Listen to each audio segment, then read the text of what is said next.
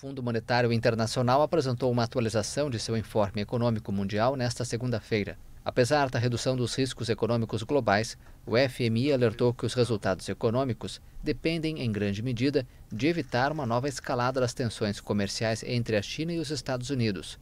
Na atualização de seu informe econômico mundial de outubro, o FMI reduziu em um décimo, a 3,3%, sua expectativa de crescimento para este ano.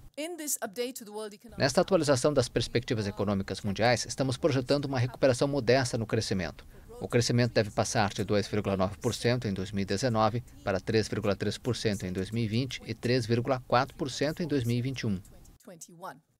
O FMI vê melhora no Brasil.